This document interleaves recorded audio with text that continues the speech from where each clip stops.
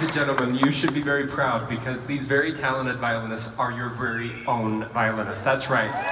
They're right here from the Denver Young Artists Orchestra.